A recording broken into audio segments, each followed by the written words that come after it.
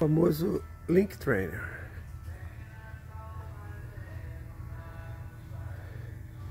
Muito parecido com o que tinha lá em Nova Iguaçu.